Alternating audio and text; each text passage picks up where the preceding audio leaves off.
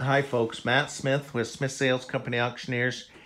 Here we have a partial truckload of bread shipping containers. Now these could be used for a variety of items. They're stacked, you turn them one way and they stack so they stack nice and tight. And then you turn them the other direction and you can see they have room through them. So that would work out good for things that would fit in between there. Um, also, this would work great in like a greenhouse setting because the water will run right down through the bottom.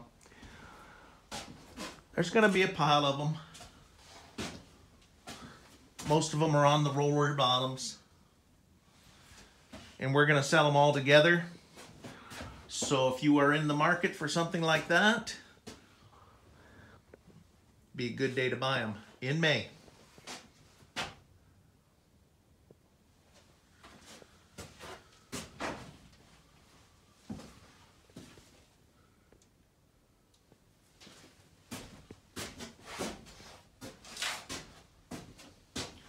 All right, folks, they're located in Miles City, Montana, and they sell online.